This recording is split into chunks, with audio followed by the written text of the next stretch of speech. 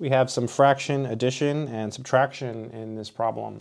So we have 1 fourth plus 1 half minus 1 over 8, and we have to write this as a single fraction, so perform the operations. We're going to find what's called the common denominator. So the denominator is the number that's on the bottom of the fraction, and so to find a common denominator means to basically make all of these numbers the same.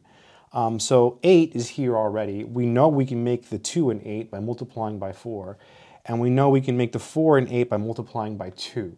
So let's just use 8 as our common denominator. It's actually called the least common denominator. So you can't just multiply it by 2, but what you can do is multiply by 2 over 2. So you're basically multiplying by 1 in a really clever way. Likewise here, you multiply by 4 over 4. And the reason this works is now look at this. 2 times 1 is 2. 2 times 4 is 8, which is what we want, right? We want to get an 8. That's how we know. You say, hey, what's missing? What do we need to get 8? Uh, well, we needed 2 because 2 times 4 is 8. So you multiply by 2 over 2. Same thing here. You say, hey, what's missing? I have a, four, I have a, a 2 here. Uh, what do I need um, to get uh, an 8? I'm missing a 4, so you multiply by 4 over 4. 4 times 1 is 4. 4 times 2 is 8. Minus 1 over 8.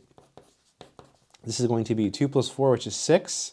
Uh, 6 minus 1 uh, is 5. So we end up with 5 over 8 as our answer. So pretty cool, right? So hopefully you learned some math. Good luck.